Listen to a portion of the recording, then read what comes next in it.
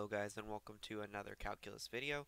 In this video we are going to be calculating the Laplace transform of this function right here, 1 over x squared plus 1 or 1 over t squared plus 1.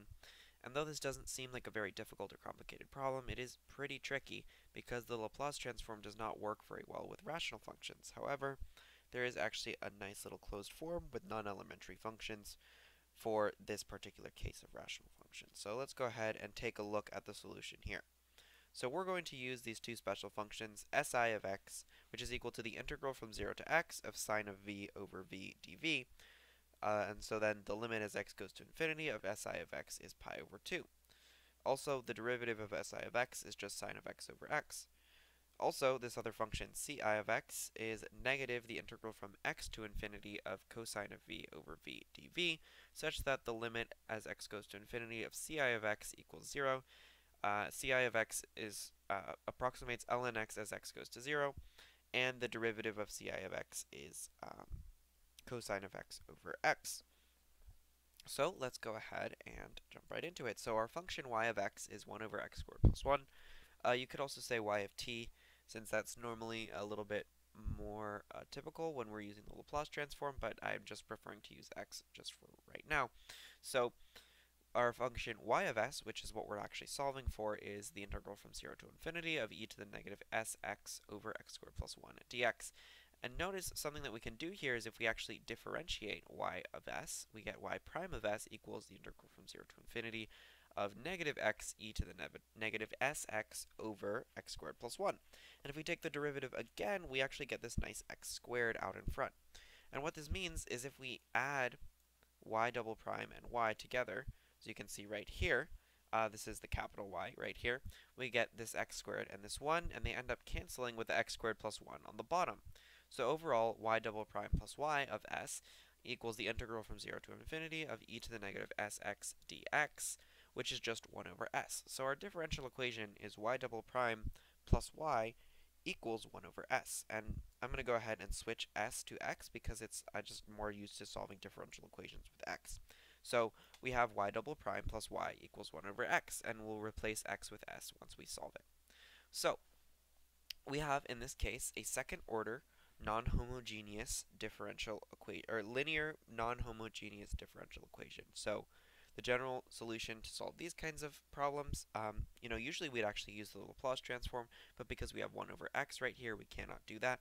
So instead, we're going to use variation of parameters. So what that means is the first thing we have to do is uh, know that y is going to equal yc plus yp. Now yc is the generalized solution to the homogeneous equation, or the version without this 1 over x here.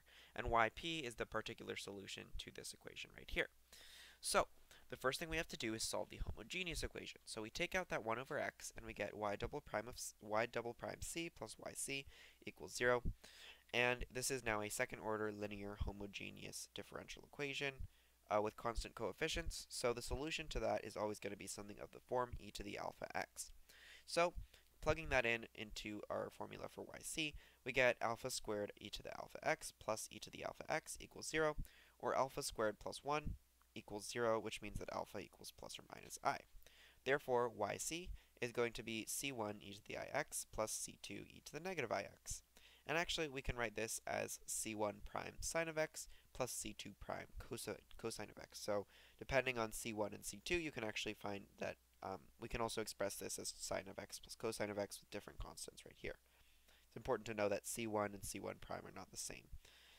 So then this is our value for yc, so now we're going to start with var variation of parameters. So our yp is going to be u1, where u is some function of x, times sine of x plus u2 times cosine of x. And we can also assume that u1 prime times sine of x plus u2 prime times cosine of x is going to be 0. Um, that's just a fundamental assumption that we're going to use, and that assumption is uh, allowed because there are multiple different sets of functions u1 and u2 that can satisfy this equation. So uh, we're going to go ahead and choose u1 and u2 that satisfy this other equation as well. So when we calculate y prime of p, notice that these first two terms right here are going to go to 0 by this little, um, by this relationship that we just set up. And we're also going to get u1 cosine of x minus u2 sine of x. And this means that y double prime of p is u1 prime cosine of x minus u1 sine of x minus u2 prime sine of x minus u2 cosine of x. So overall, when we calculate y double prime of p, uh, y plus y p, uh, sorry, y double prime p plus y p, we get u1 prime cosine of x minus u1 sine of x minus u2 prime sine x equals 1 over x. So that's this equation right here. So the first thing we're going to do is we're going to multiply this whole function by tangent x.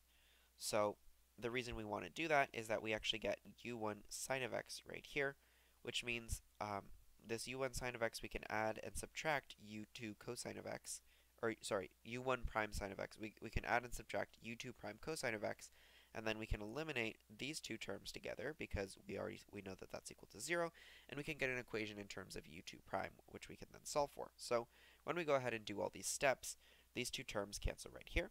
So overall, we're just left with this term and this term equaling tan x over x. So we get u2 prime uh, times negative sine squared of x plus cosine squared of x, which is just 1 over cosine of x, equals tangent x over x.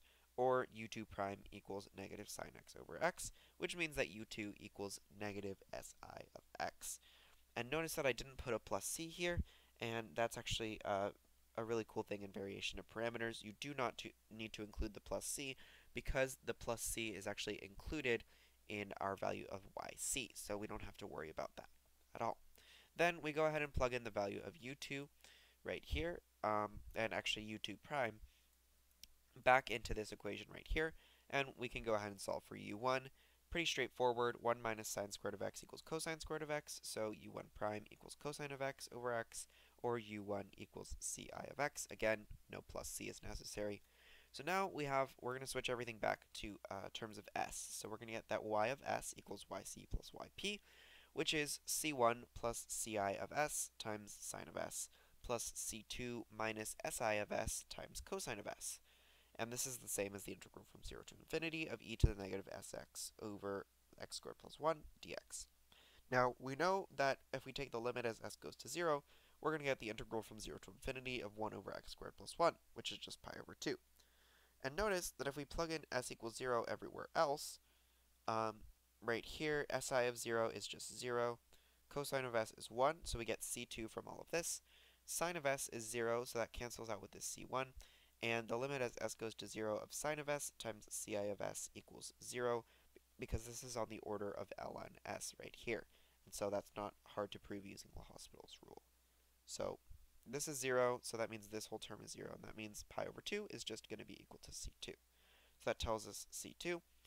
Uh, and then as s goes to infinity, y of s is going to 0, um, just because this exponential is going to immediately become 0 everywhere in the domain.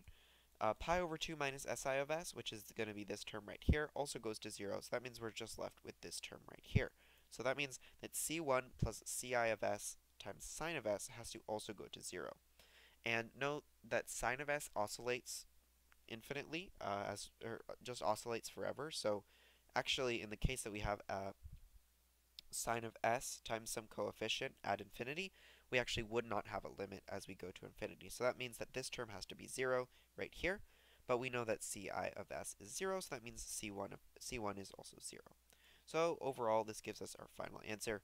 The Laplace transform of 1 over x squared plus 1 equals ci of s times sine of s plus pi over 2 minus si of s times cosine of s. And note that this can also be written um, sort of in a similar way to ci of s. Both are the integral from x to infinity of um, sine x over x. So, I just think that's a really cool little problem. Uh, not too difficult, but it is a little bit tricky, and it gives us a very fun differential equation. So, I hope you guys enjoyed the video, and uh, I'll see you next time. Thanks for watching. Bye.